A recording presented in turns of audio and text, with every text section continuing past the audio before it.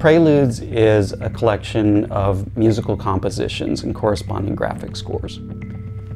Each of these compositions holds a secret. If you're able to find and decode the secret, you get a reward. And we keep going. All of the compositions are algorithmically generated, but I've created a framework, a series of frameworks for the generation of those. Things like what tonality is the composition going to have? What kind of rhythmic structure is the composition going to have? The musical compositions then draw a score. And those scores are inspired by a series of composers who started working with equipment and working in genres that traditional music notation did not lend itself to.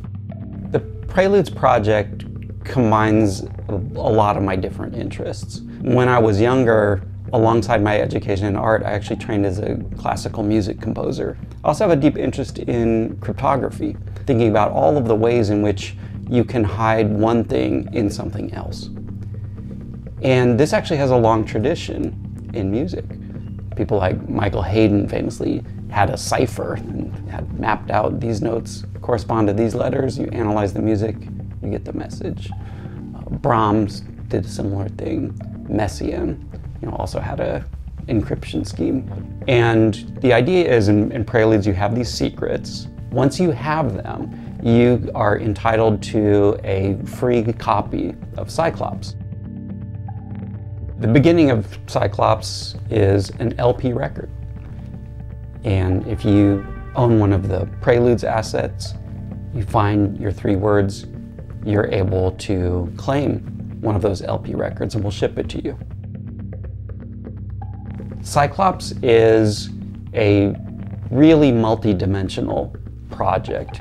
It's more like a journey, a journey through history, a journey through cryptography, through open source intelligence. It's a journey that asks the participants to work together to try to solve a series of increasingly challenging problems. At the same time, it's telling you a story about the origins of psychological operations, deception operations on one hand, and the origins of things like artificial intelligence, cognitive psychology on the other. So the bigger project spans these different media, these different ways of interacting with art objects.